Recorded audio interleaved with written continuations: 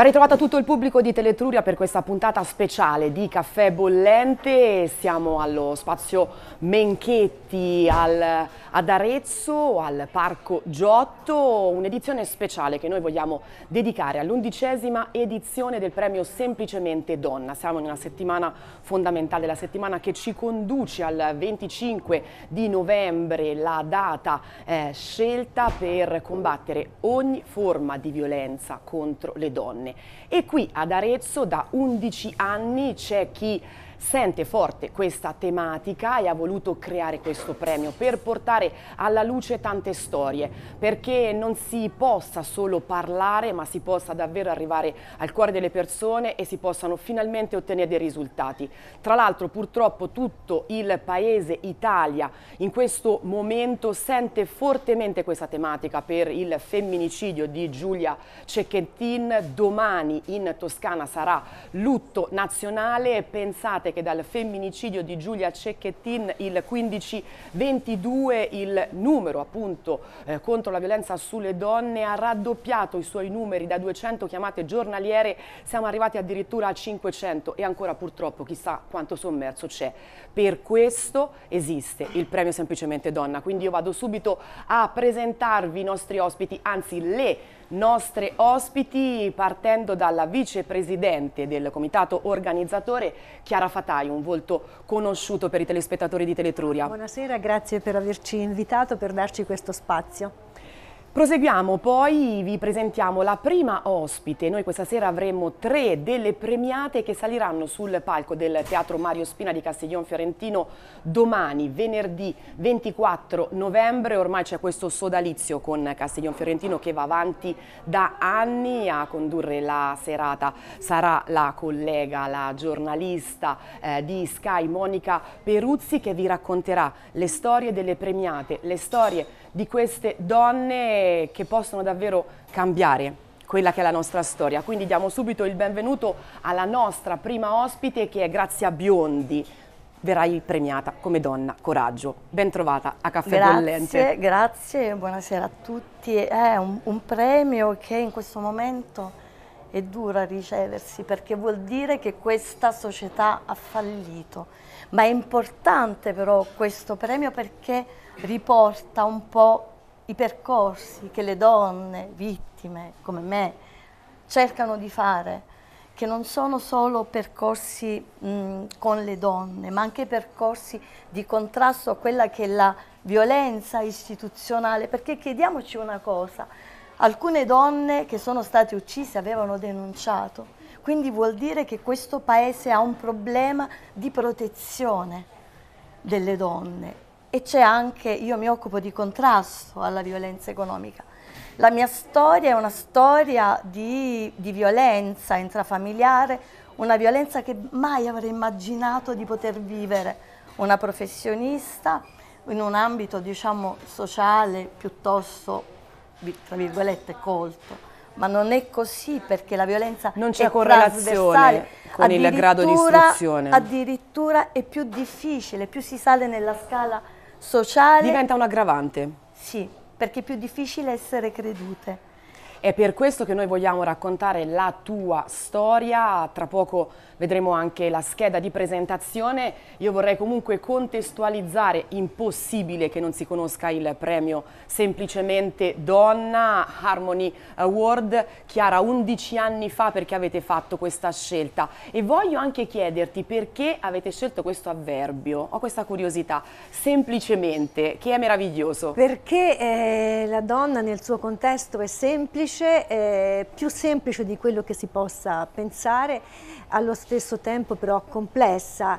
Eh, se devo essere sincera, mi rimane difficile dire perché abbiamo scelto, eh, però è una cosa che così, ha visto quando le cose nascono di, spontanee, di getto, spontanee. Esatto. E, e questo probabilmente, esatto, questo, diciamo, il, il, termine semplicemente donna lo si racchiude nella statuetta che domani sera le nostre premiate riceveranno, che è una statuetta eh, raffigurante una donna che non ha etnia, quindi è una donna che rappresenta tutte le donne del mondo, quindi una, una statuetta molto semplice sua, nel suo stile, eh, che tiene in mano una sfera, una sfera, di cristallo di, di, rocca con dentro delle sfumature che rappresentano eh, le gioie e i dolori che la donna deve diciamo, percorrere nella sua vita, ma anche eh, la sfera rappresenta il mondo, la vita, perché la donna può dare la vita. Quindi ecco, se il semplicemente donna è nato da una serie di cose che insieme si sono riunite quindi è venuto fuori questo nome. E allora approfondiamo la storia di Grazia Biondi, poi parleremo anche di tutte le altre premiate perché siete bravissimi nel riuscire a rappresentare quello che è l'universo femminile a 360 gradi. C'è ad esempio anche un premio dedicato allo sport con la ginnasta che ha denunciato le angherie, che ha vissuto purtroppo anche il mondo sportivo non è esente no. da forme di violenza io adesso però mi voglio focalizzare su Grazia Biondi che è qui con noi, quindi chiedo alla regia se possibile di mandare in onda la scheda di presentazione della storia di Grazia Biondi e poi lei ci racconterà il fiore che è riuscita a far nascere da tutta questa violenza.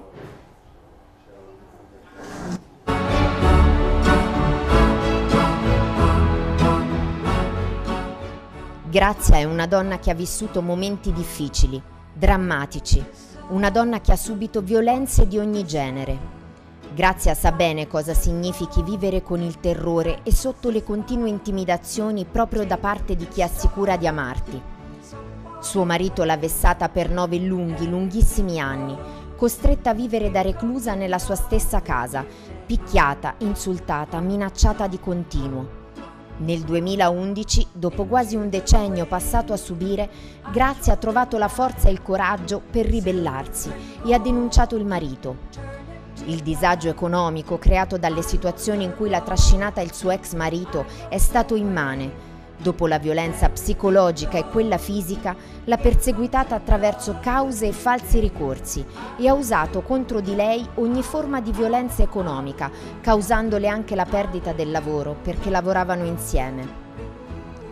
Da queste situazioni Grazia ne esce distrutta e umiliata, si sente abbandonata anche dalle istituzioni, ma non si arrende e da un'intuizione dà vita ai gruppi AMA, che significano auto mutuo aiuto via web dove le donne vittime di violenza, professioniste e non, si trovano attraverso i social, si riconoscono e si sostengono laddove il sistema è deficitario.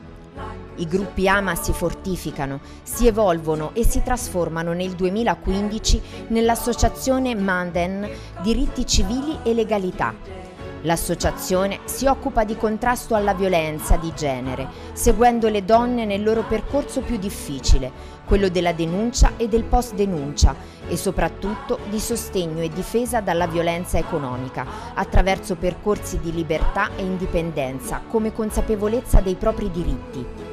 Proprio per questo, con la sua associazione, Grazia si batte per diffondere l'idea che per una donna la libertà passa anche dall'autonomia economica e dall'alfabetizzazione finanziaria.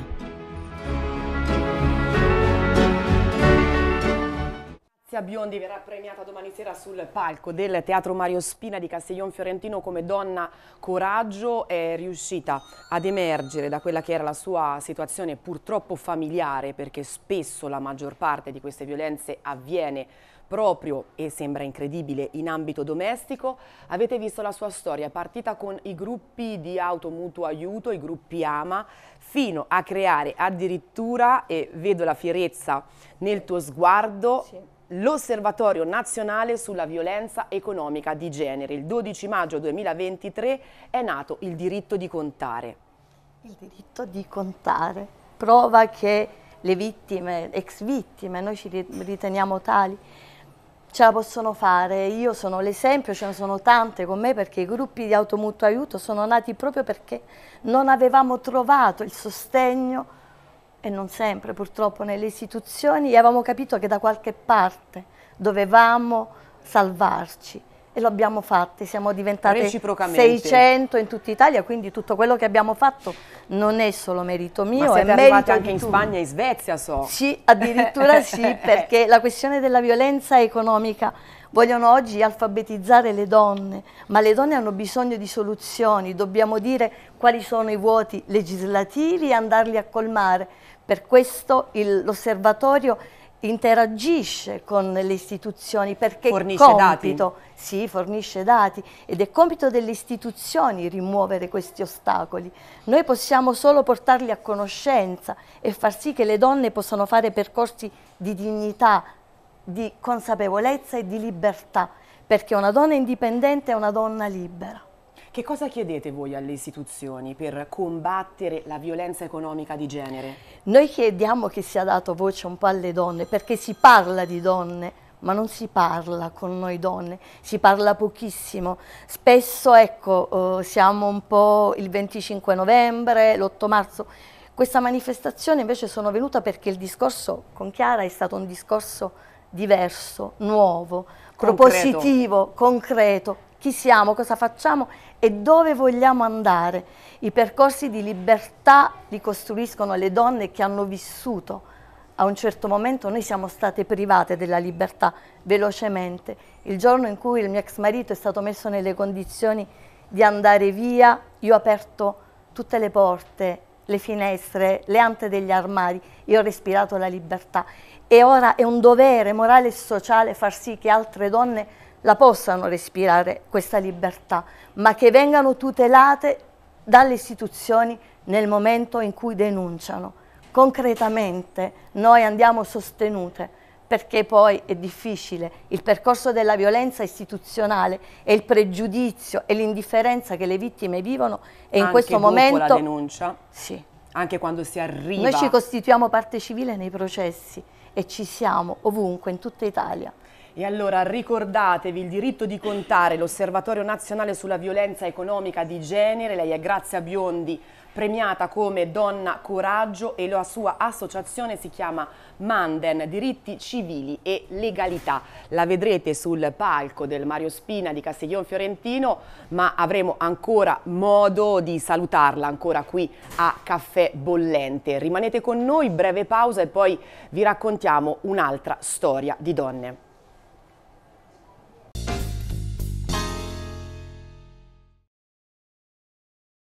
Siamo tornati allo spazio Menchetti, siamo al Parco di Arezzo, puntata speciale di Caffè Bollente dedicata all'undicesima edizione del premio Semplicemente Donna. Parliamo adesso di diritti umani perché abbiamo un'altra delle premiate di questa undicesima edizione. Diamo il benvenuto a Pegga Tasciaccori che adesso vive in Italia ma è un'attivista appunto per i diritti umani che viene dall'Iran e quindi credo che ci sia eh, bisogno di aggiungere ben poco perché tutti conosciamo quella che è la situazione del tuo paese di origine, tu adesso vivi in Italia, giusto? Eh, continui comunque a lottare, la rivolta che è partita nel settembre 2022 purtroppo ha già fatto tante vittime, però ovviamente voi non vi arrendete. Certo. Vuoi eh, raccontarci la tua storia e vuoi dirci, vuoi eh, trasmetterci come è scattato dentro di te il bisogno di renderti attiva e di aiutare il tuo paese. Poi vediamo anche la tua scheda, però vorrei subito darti la parola. Uh, prima di tutto io volevo studiare giurisprudenza e nel mio paese cambiano tutto, cioè non, non possiamo studiare giurisprudenza come vogliamo, come una donna. La donna non può studiare. Eh, può studiare, però i materiali Sono devono differenti. differenti e poi ca hanno cambiato tutto, quindi i materiali non sono quelli che dobbiamo studiare. E quindi ho scelto Italia, sono venuta in Italia in 2019 e poi sempre volevo essere un'attivista. E poi dopo tutto quello che è successo in 2022, iniziato da settembre 2022, a partecipare a manifestazioni dopo mm, l'uccisa di Massa Amini.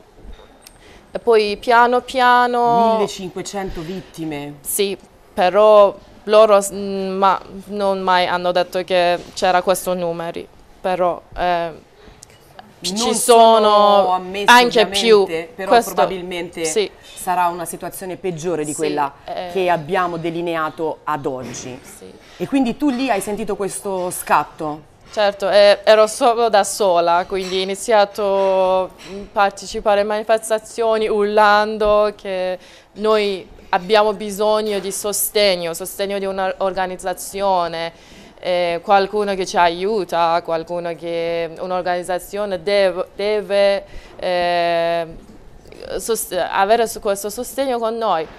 È iniziato così. Sei eh... diventata anche famosa peraltro perché tu hai proprio lanciato un grido di rabbia disperata in una manifestazione a Roma Campidoglio. e hai ovviamente al Campidoglio attirando ovviamente l'attenzione di, di, tante persone è un qualcosa che ti nasceva dentro. Quindi vediamo subito la storia di Pegga Tasciacori e poi continuiamo con lei ad affrontare quella che è la situazione eh, in Iran, suo paese d'origine.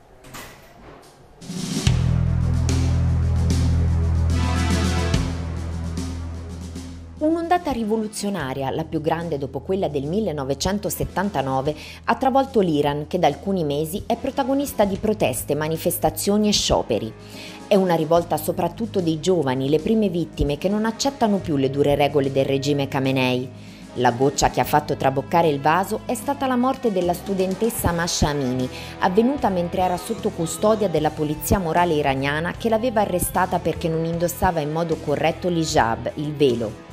Le manifestazioni di protesta in breve si sono estese non solo in Iran ma in tutto il mondo a sostegno dei giovani e dei loro diritti umani. Pegata Shakori è una giovane donna iraniana di 30 anni, originaria di Teheran, che vive da qualche anno in Italia per studiare giurisprudenza all'Università La Sapienza di Roma. Dopo quello che è successo in Iran e soprattutto dietro l'omicidio di Masha Amini e di altre giovani donne e uomini che si erano opposti alle severe leggi del regime, è diventata un'attivista dei diritti umani.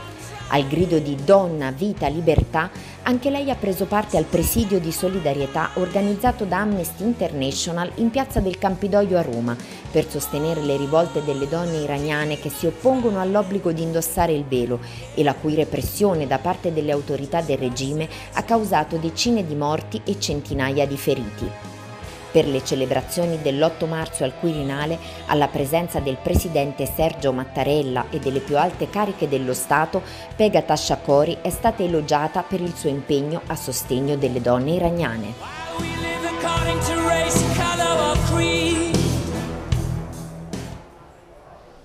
E allora abbiamo menzionato in questa scheda Amnesty International che per l'appunto è un'ansa proprio di questo pomeriggio, oggi ha denunciato i gravi rischi per la salute di Narges Mohammadi, premio Nobel sì. per la pace, una tua collega, un'altra attivista che purtroppo è in carcere e è stata sottoposta a delle misure in carcere, peraltro ha dei problemi di salute, non è stata sottoposta nemmeno a dei controlli medici, una situazione purtroppo purtroppo ben nota, per oggi c'è l'ulteriore appello di Amnesty International. Come vive una donna oggi in Iran? Cosa combattete voi?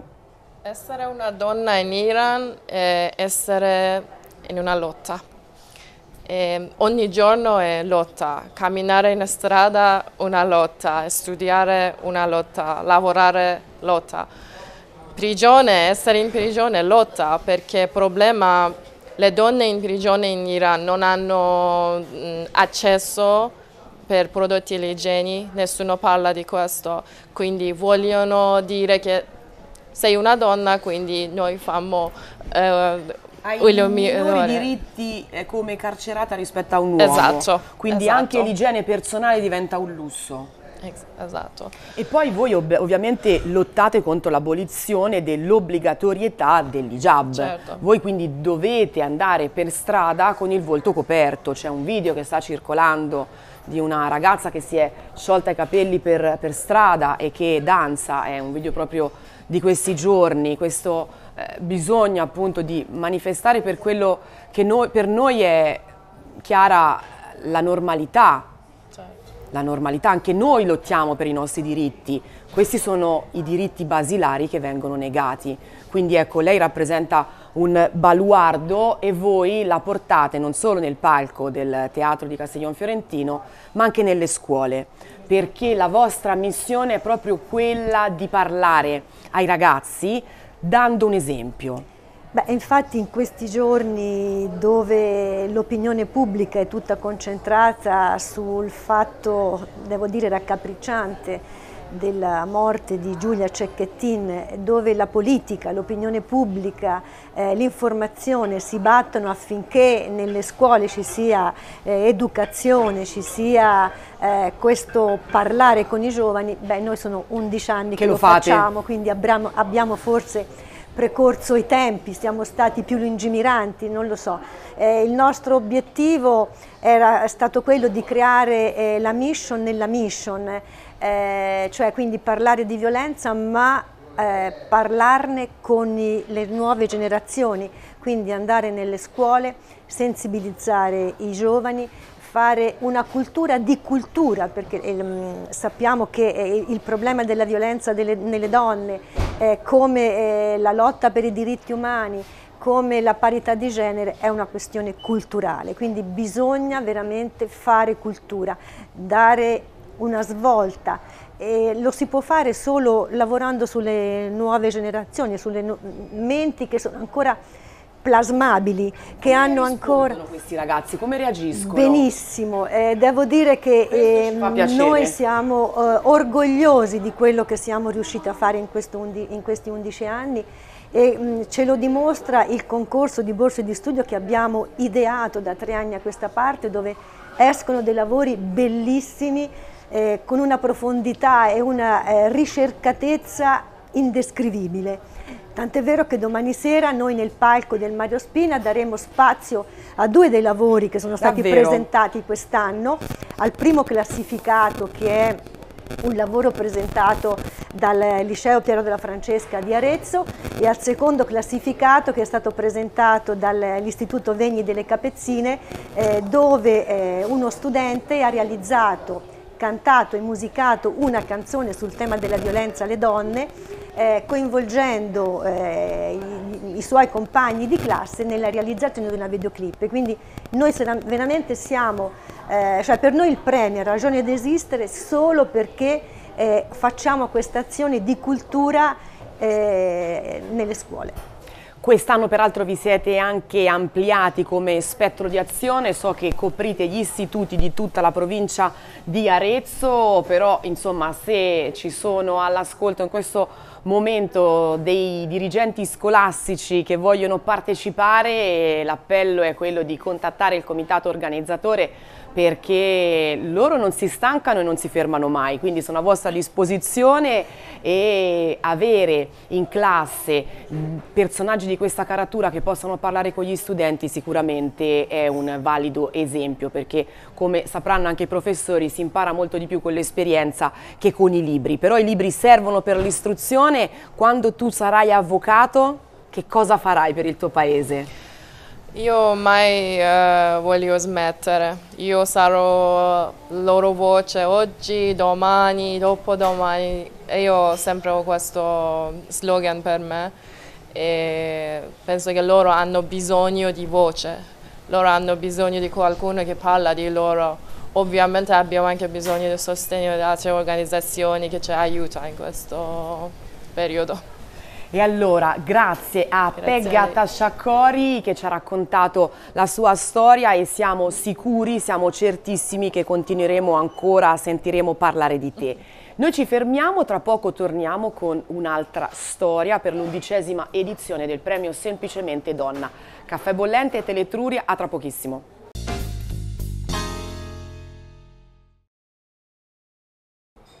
E siamo tornati allo spazio Menchetti ad Arezzo, puntata speciale di caffè bollente dedicato al premio Semplicemente Donna. Peraltro Menchetti, cara Chiara, è un partner storico del vostro percorso. Sponsor. Esatto, ecco, quindi molto volentieri noi siamo qua con la terza ospite, la terza donna premiata.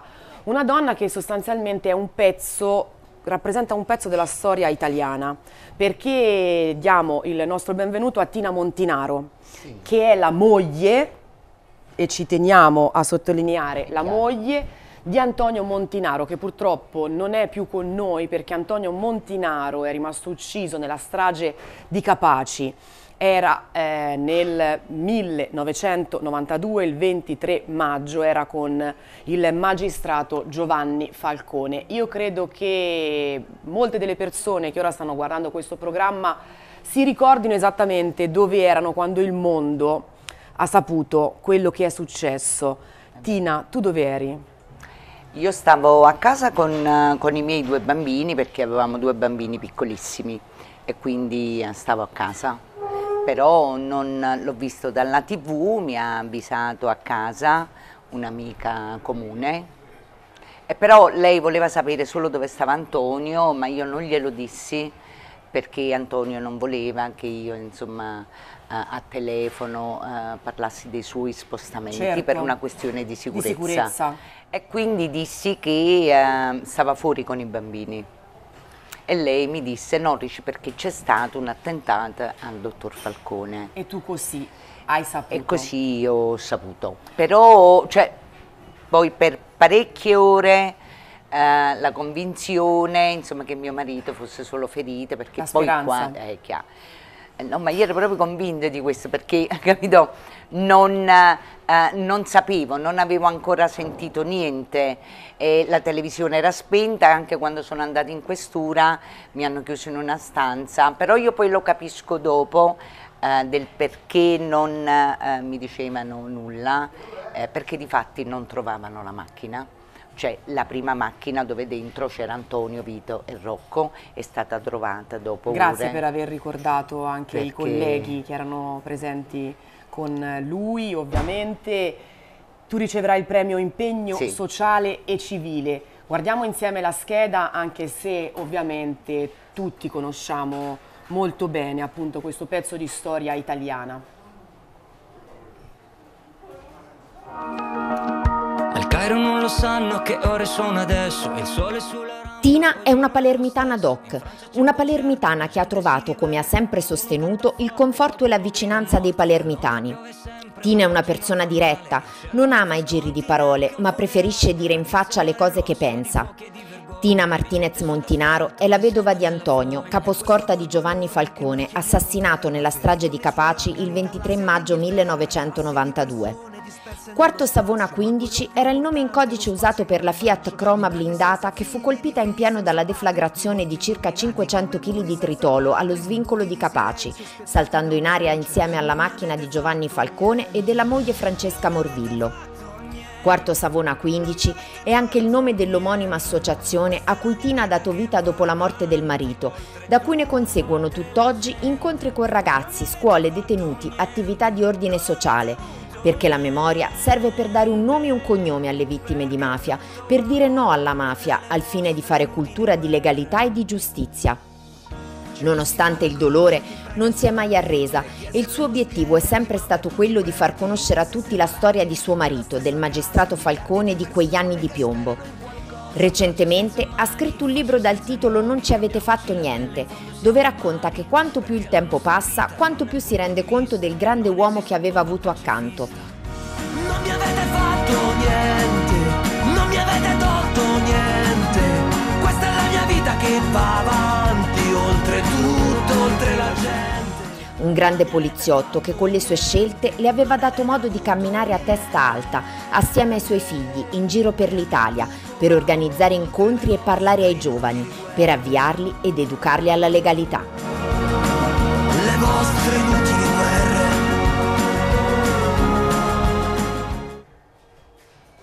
Tina, c'è una frase che tu hai detto che riassume tutti questi anni, il tuo impegno sociale civile per il quale appunto riceverai il premio.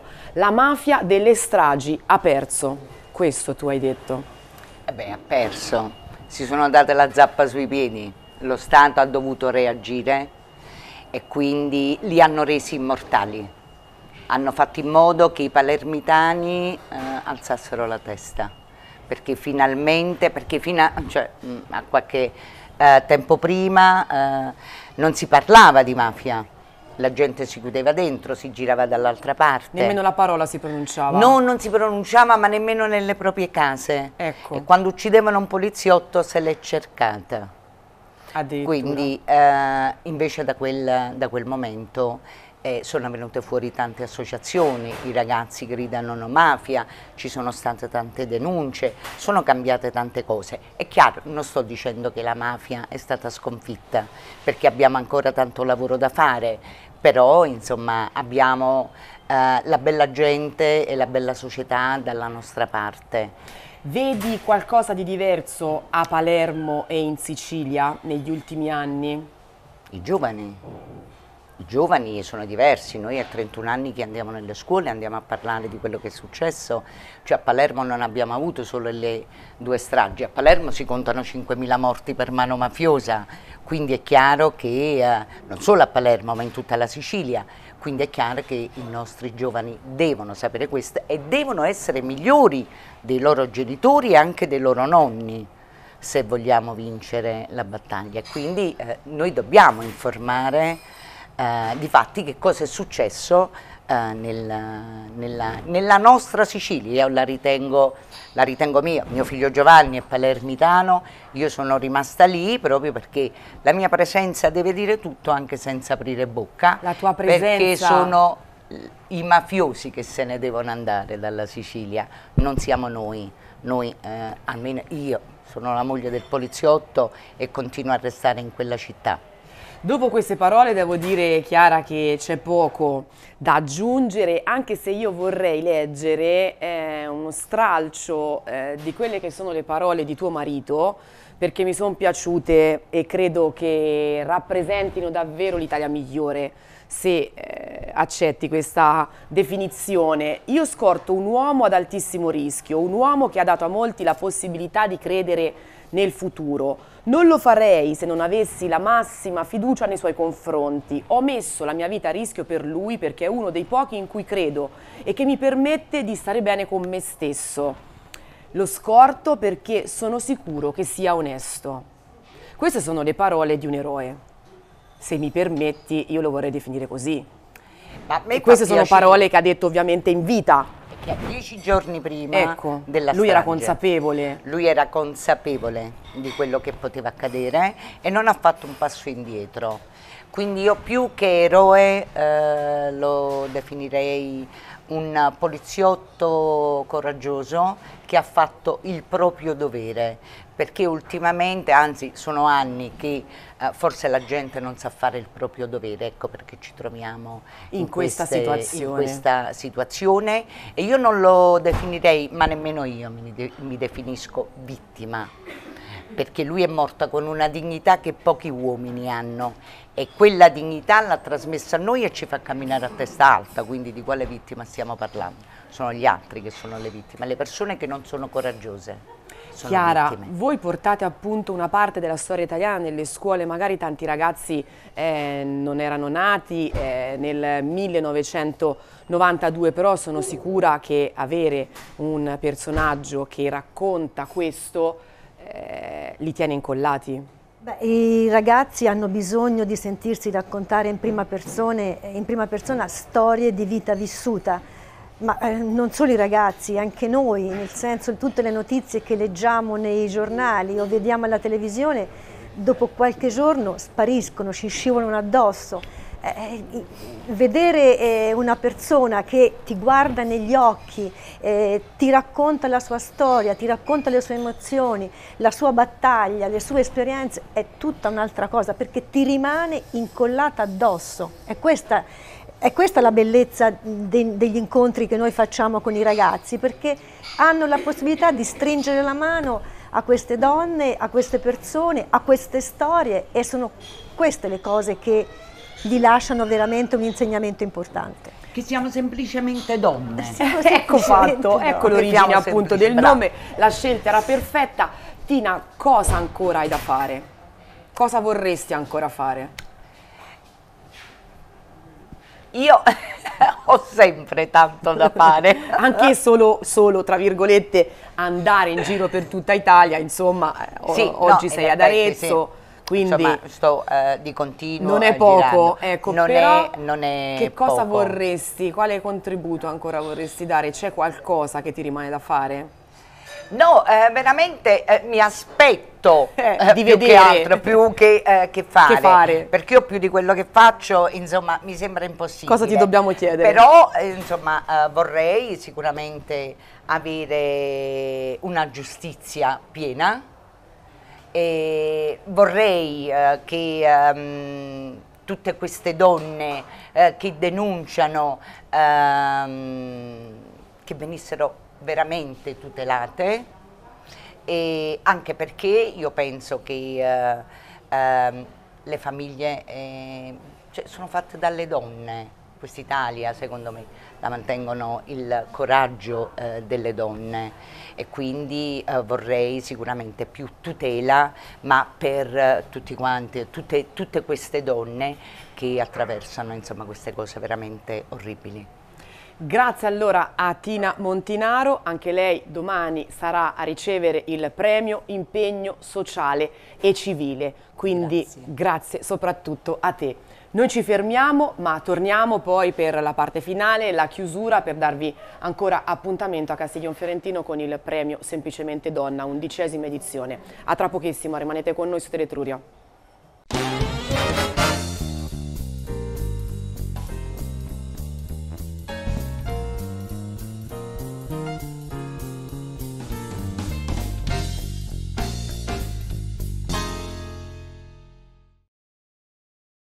E siamo rientrati, questa è la parte finale di questa puntata eh, speciale di Caffè Bollente dedicato al premio Semplicemente Donna. Siamo ancora con Chiara Fatai per l'invito finale a partecipare eh, domani sera. Eh, abbiamo una quarta ospite che rientra in quello che è l'albo d'oro eh, di queste 11 edizioni. Grazie per essere venuta a Chiara Frazzetto. Tu sei Donna Coraggio 2021, hai già raccontato al premio Semplicemente Donna quella che è la tua esperienza di vita e continuiamo sulla scia, parliamo ancora di mafia, purtroppo una realtà della nostra Italia, tuo padre e tuo fratello sono eh, vittime di mafia e purtroppo la tua famiglia ha risentito pesantemente di queste conseguenze perché tua madre non ha potuto reggere ovviamente a questo grande dolore. La tua testimonianza è proprio quella di raccontare come si vive in Sicilia. In Sicilia bisogna alzare la testa in Sicilia bisogna alzare la schiena e guardare sempre avanti, ma soprattutto non arrendersi a una mentalità mafiosa e non arrendersi e non scappare via dalla nostra magnifica Sicilia, ma cerchiamo di cambiarla. Negli anni ci stiamo riuscendo. Hai mai avuto un momento di debolezza in cui hai detto mollo tutto, quantomeno voglio rifarmi una vita, voglio cambiare luogo, voglio andare a vivere da un'altra parte, voglio cambiare completamente la mia esistenza. Mai avuto un attimo di debolezza in questo senso? No, io non sono mai voluta andare via dalla mia Sicilia fin dal primo momento. A me mi avevano proposto un programma di protezione che ho rifiutato perché io non avevo ucciso nessuno. Io non dovevo andare via dalla mia Sicilia e considera che io avevo solo 21 anni quando è successo il caso dei miei genitori ed ero una ragazzina che era rimasta sola, però io non potevo dargliela vinta, io non avevo ucciso nessuno, non dovevo andare via io, erano loro che dovevano cambiare città, cosa che non è stata fatta, anche perché ehm, due anni fa io ho scoperto che uno dei criminali è uscito dal carcere, ma io non mi sono scalfita nemmeno di un millimetro, la mia posizione non cambia. Come oggi nel 2023 si devono muovere le istituzioni. Ovviamente non possiamo pensare di ribaltare la, la situazione da un momento all'altro.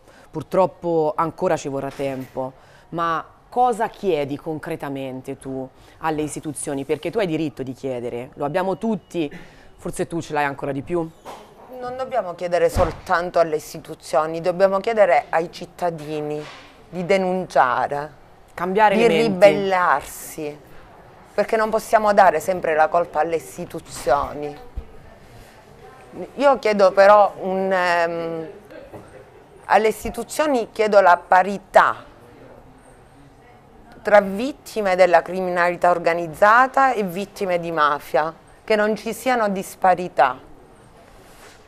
Questo sì, però noi cittadini abbiamo un grande compito, quello di denunciare quando le cose non vanno, anche a costo della propria vita, perché mio padre ha pagato con la propria vita e con la vita così. di suo figlio.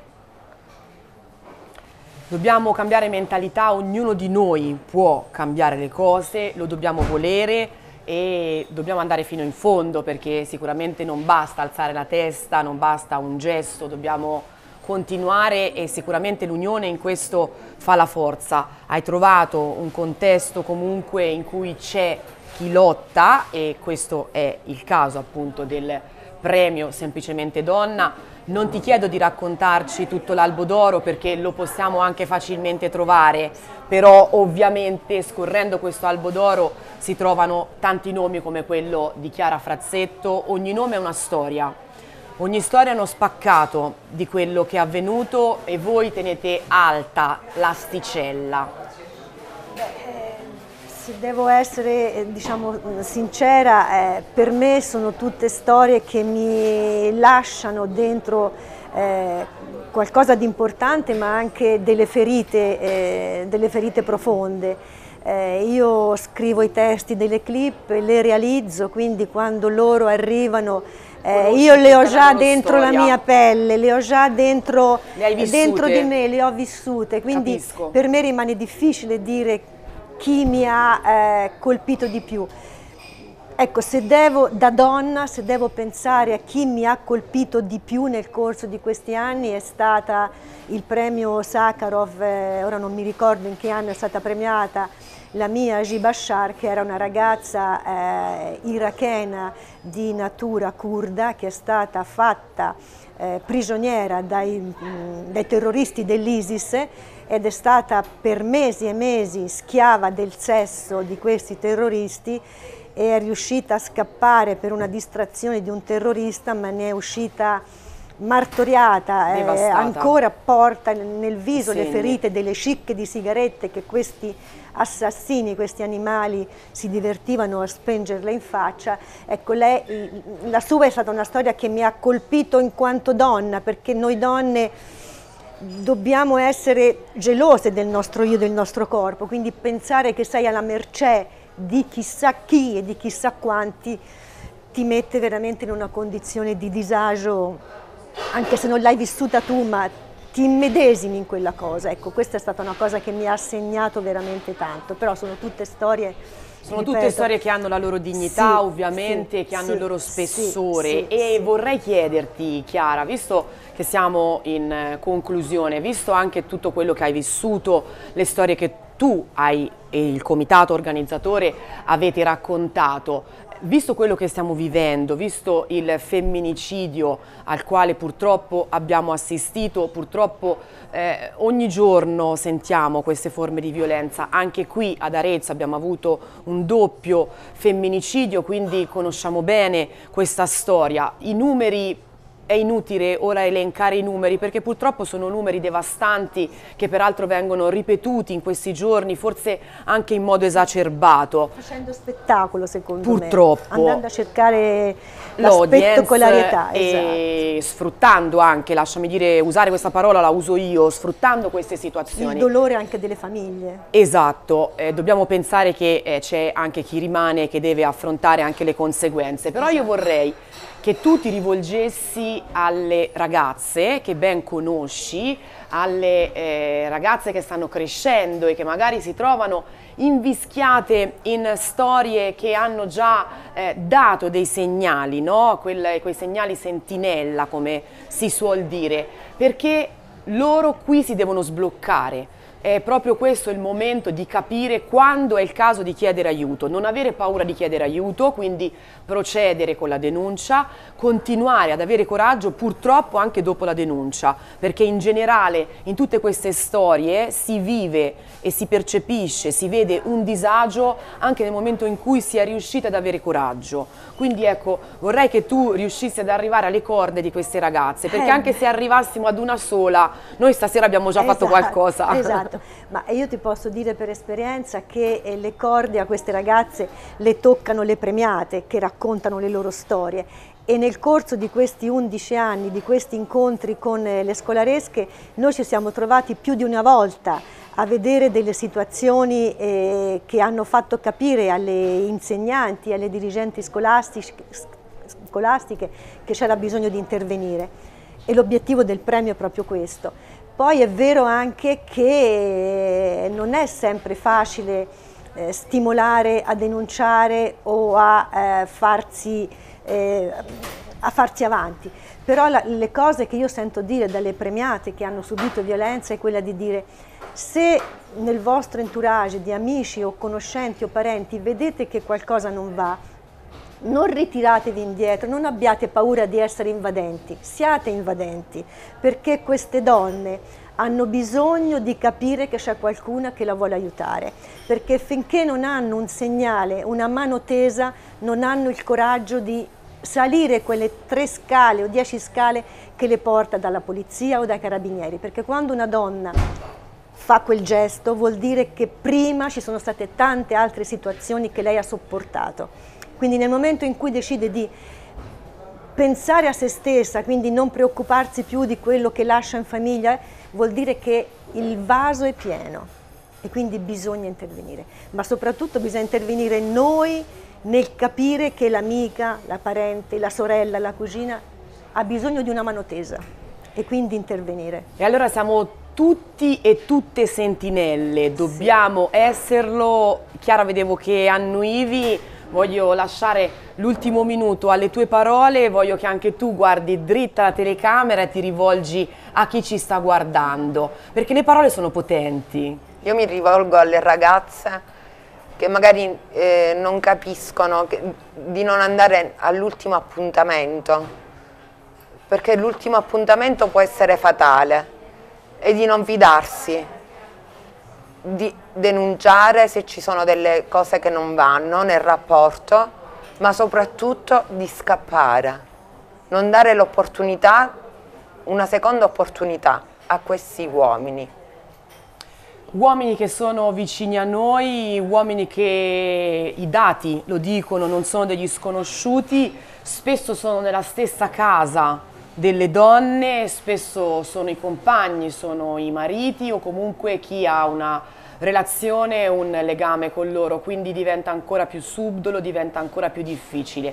Però qui abbiamo raccontato il coraggio delle donne, quindi noi non ci arrendiamo, loro non si sono arrese e sono davvero un faro un esempio. Facciamo che queste parole siano concrete. Io anche lo scorso anno ho voluto terminare questo spazio con le parole di chi è molto più famoso di me, ovvero Martin Luther King. Le prendo in prestito perché le avete scelte voi del premio Semplicemente Donna. Non ho paura delle parole dei violenti, ma dei silenzi degli onesti. A dire il vero io ho anche paura delle parole dei violenti, è per questo che le dobbiamo contrastare e lo possiamo fare con il coraggio che comunque ci appartiene. Siamo arrivati al termine di questo appuntamento, il premio Semplicemente Donna sarà comunque su Teletruria nei prossimi giorni, vi informeremo sulla programmazione, sarà un onore per noi poter dare un contributo. Grazie dunque a Chiara Fatai che ogni anno viene a raccontarci il suo impegno e l'impegno del comitato. Grazie a Chiara Frazzetto, grazie, a grazie, per esserti unita a noi, grazie a tutto il pubblico di Teletruria, grazie ai nostri tecnici, premio semplicemente Donna Castiglion Fiorentino, il coraggio delle donne.